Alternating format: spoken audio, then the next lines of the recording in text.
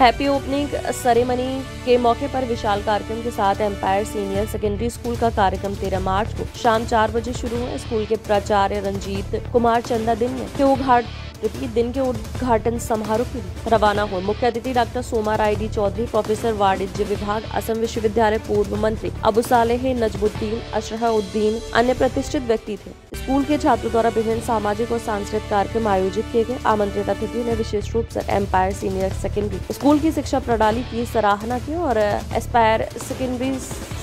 repeat secondary school के शिक्षकों एवं प्रबंधन समिति और छात्रों के उज्जवल भविष्य की कामना की We heard many, uh, that is short speech on education, then lighting of lamps, then other inaugural program that has been taken place earlier.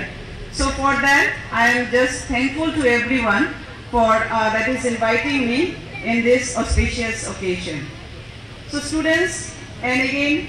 dignitaries, those who are there in the dais, and again at the same time of the dais, those who are sitting in that side. So uh, that is uh, to everyone, my pranam, namaskar to everyone uh, that is in the dais and of the dais.